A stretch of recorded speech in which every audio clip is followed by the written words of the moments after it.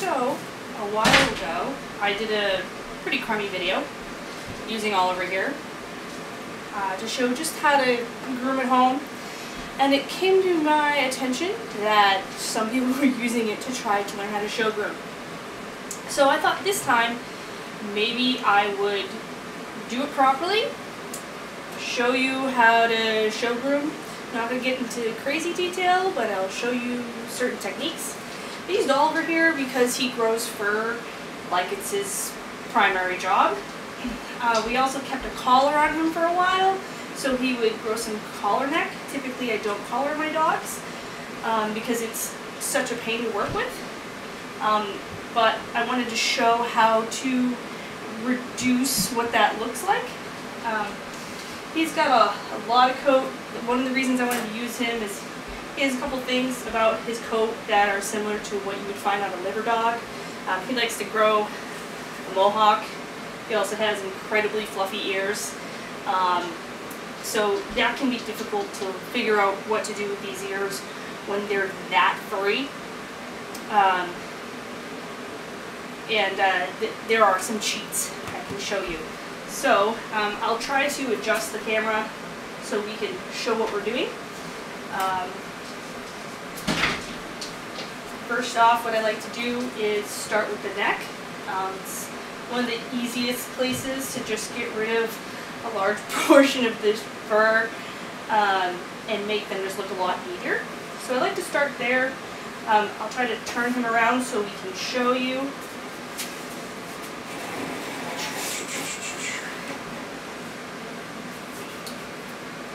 Okay.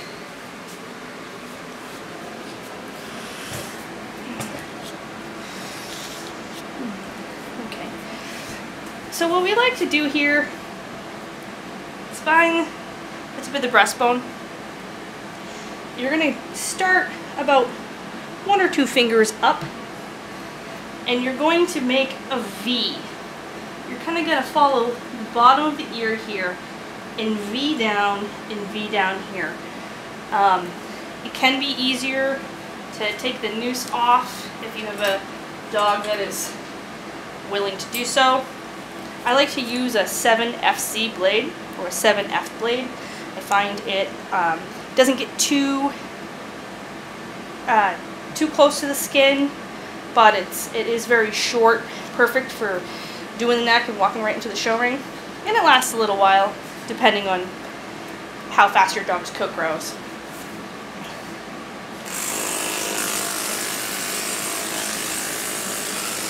You're to make first one big sweep all the way up.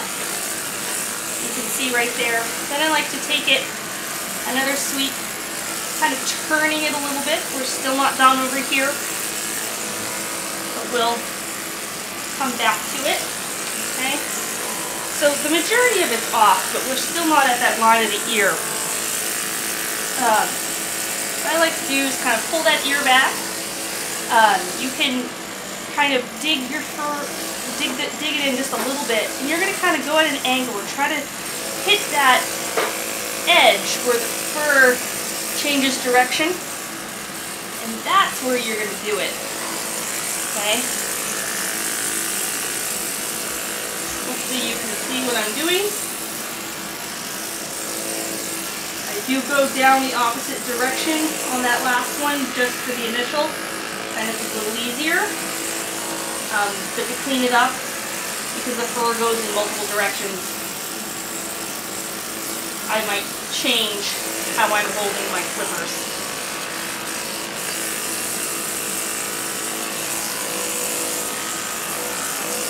Now I realize not every dog is going to be this easy to do necks, especially if they're not used to it.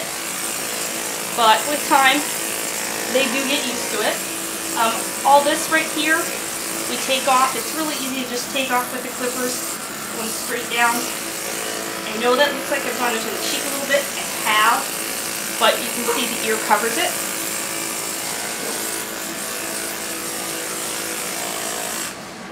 okay. See, he's significantly nicer. Hopefully you were able to see that. I know the lighting's not not great. See if we can get a close up here.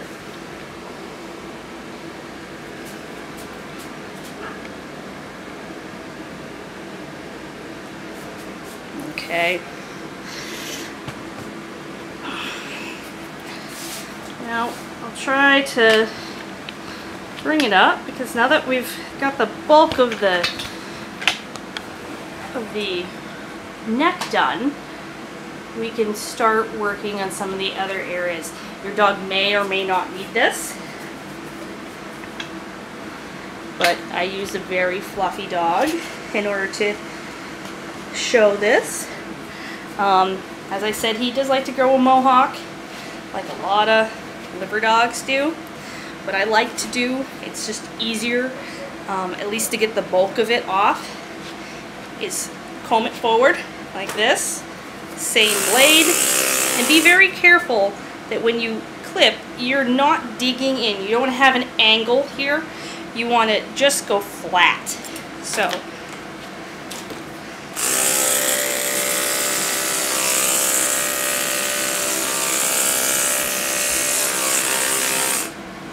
you're not taking much off.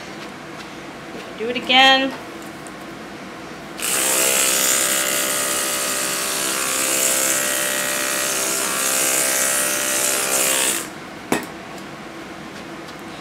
Don't want to look like it's been clippered. As you can see, now he looks like he's never had a mohawk. Uh, you can, if it looks a little choppy to you, you can use um, a stripping comb or um, maybe some thinning shears to try to smooth it out. But if, as long as you haven't dug in, it shouldn't, it shouldn't look weird. Okay? Also, he's got crazy furry ears, and if I was to sit here and use a stripping comb on them, I would be here for 10 years. His fur grows faster than I'll be able to strip it. So, same thing.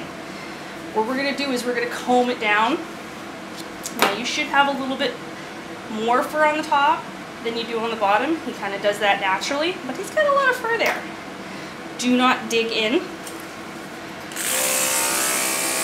You're going to start, you're going to put the blade about even at the top of his ear because you don't want to do the top of it. And just bring it down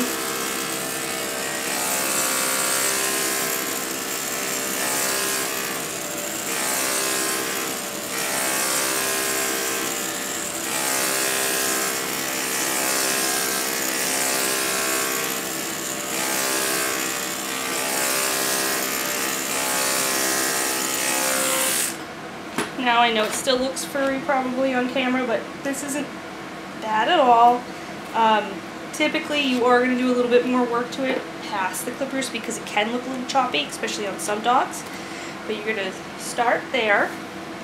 Then what you're going to do is you're going to take your straight shears or curved shears. You can use whichever you feel more comfortable with. What you're going to do is you're going to pull the ear and you're going to cut along what we call the leather of the ear. Um, you don't want to cut the ear itself, so be kind of careful. Just evening out the fur and bringing it down like that.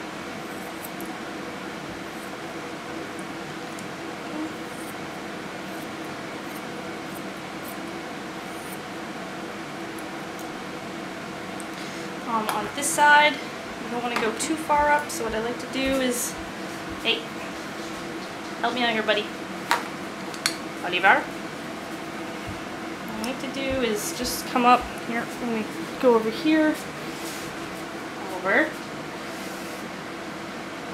I'm just doing it kind of at an angle. You don't want to go all the way up. You want to leave a little bit of that cute little fuzz there. But you can take this bit off.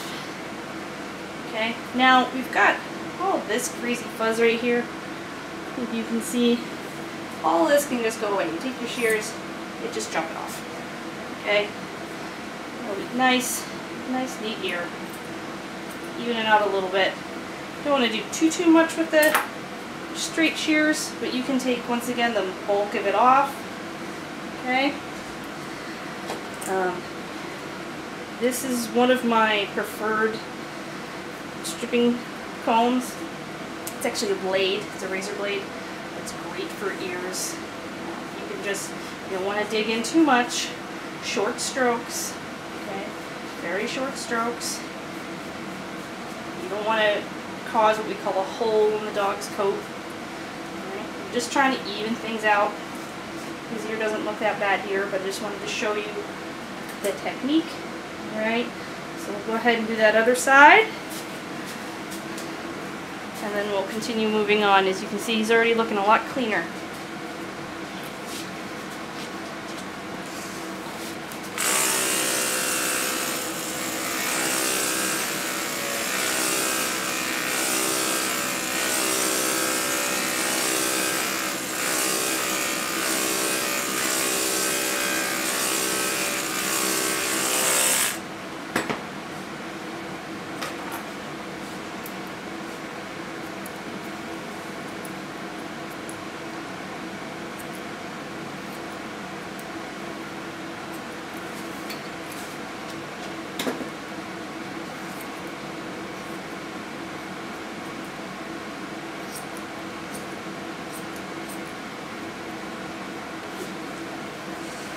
Alright. What a good boy. Oliver, incidentally, is an older boy. He's eight. Not really shown anymore. Once in a blue moon. He was one of my, he was actually my second champion. Good boy.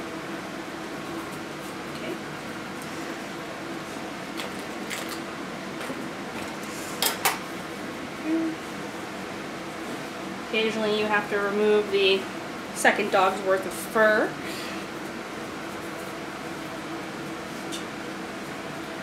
Okay.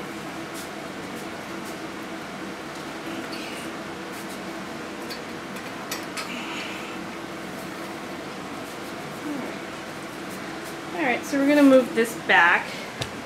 Hopefully you'll have some better lighting.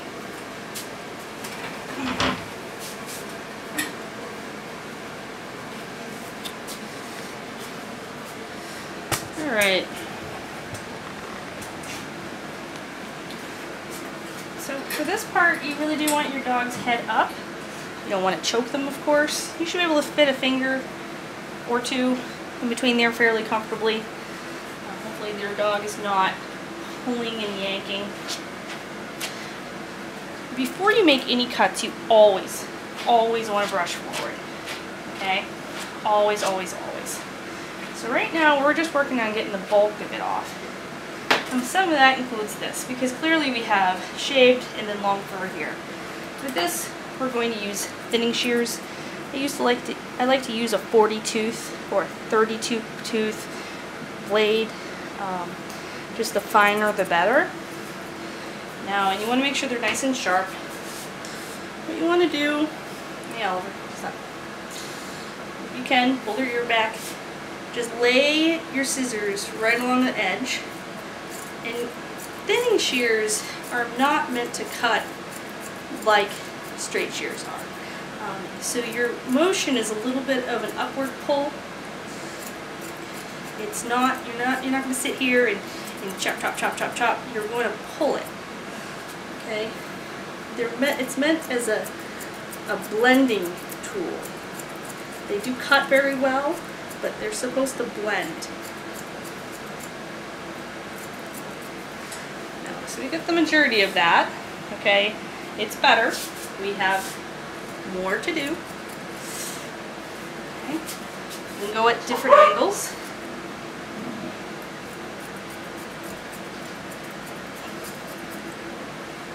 Alright. Boy. Oliver, come on. There you go. Alright. You can see there's a lot of fluff here. We'll be taking care of that next.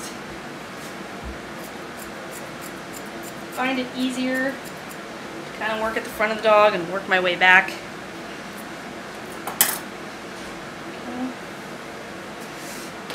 Another tool that you're going to need, especially if you have a dog like this, that has a lot of fur, or you have a dog that has collar neck, like he does at the moment, you're going to want a comb, a nice metal comb.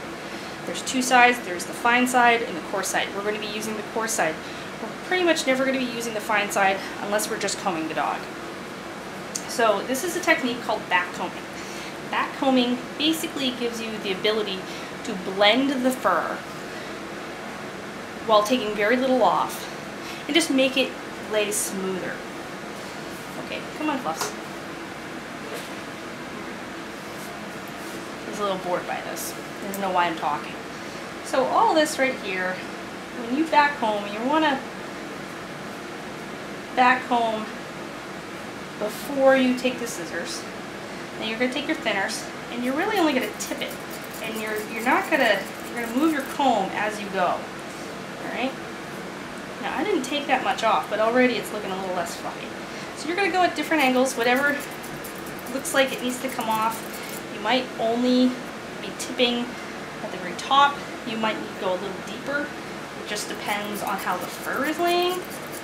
That, unfortunately, is just something you have to get a feel for.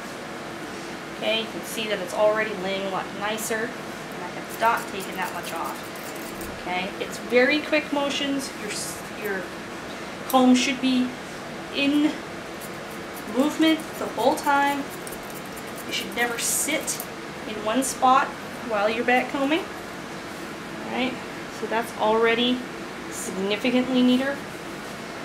We're also going to take these thinners, come down just a little bit right in this spot and kind of pull it. Because right here is this beautiful shoulder and we really want to show this really lovely layback here. Um, he's got very nice return of arm and you want to show that off. You don't want to fill it with all this fur too much. So you want to take it down just a little bit more right here just to show the transition between shoulder and fore chest. Okay. There we go, that's a lot better. We're going to do a lot more here. Believe it or not, taking it down here is going to make a huge difference. But let's see if we can deal with this, this collar neck here. We're going to use the same technique with the thinning shears and the comb using the back combing technique. This can be very difficult. You don't want to just take it all down. It's not going to look right. We're going to try to make this a nicer transition. In the Brittany, a judge is not supposed to penalize you for having a collar neck because it's very common in our breed for dogs to be wearing collars a lot because they're in the field. However, it doesn't hurt to try to make that a nicer looking transition. So we're going to come up from the back and just tip. You don't want to do too much with the collar neck because you're it's you're don't want to overdo it. It's really easy to take too much fur off. Okay, you want to come straight in the back. You're going to go up further than you think is necessary because what you need to do is have this fur blend into this fur. So if you just go to this point, you're not getting these pieces of fur. You have to go further.